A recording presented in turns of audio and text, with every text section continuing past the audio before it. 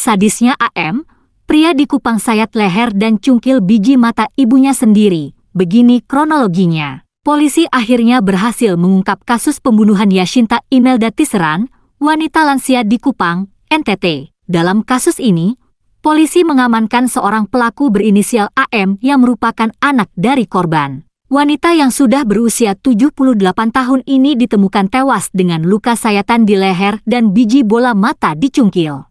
Kesehariannya korban diketahui berjualan kue, sementara dugaan pelaku, AM, tak memiliki pekerjaan dan hanya beraktivitas di dalam rumah saja. Pelaku mempunyai seorang istri dan dua anak. Namun karena tak memiliki pekerjaan, sang istri kabur meninggalkannya. Jenazah korban sudah dibawa ke Rumah Sakit Bayangkara RSB Titus Uli Kupang Sabtu malam pukul 21.06 Wita. Pelaku sudah diamankan di Mapolsek Kota Raja di depan Gereja Gnit Shalom Air Nona, Kota Kupang. Kapolresta Kupang Kota, Kombes Pol Aldinan Manurung menjelaskan bahwa korban YT meninggal dengan kondisi adanya luka lubang terbuka di bagian leher sebelah kanan dan luka pada bola mata sebelah kanan. Polisi telah mendatangi tempat kejadian perkara, TKP. Pada saat anggota mendatangi TKP, korban ditemukan meninggal tidak wajar karena adanya bekas luka dengan kondisi lubang terbuka pada bagian leher sebelah kanan dan adanya luka pada bola mata sebelah kanan, kata Kapolresta Kupang Kota Kombes Pol Aldinan Manurung.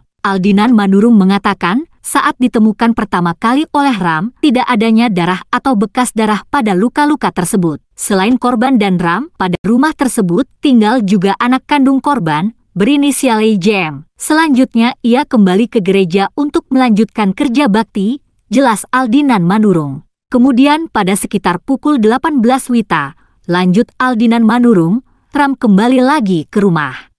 Download Tribun X sekarang, menghadirkan lokal menjadi Indonesia.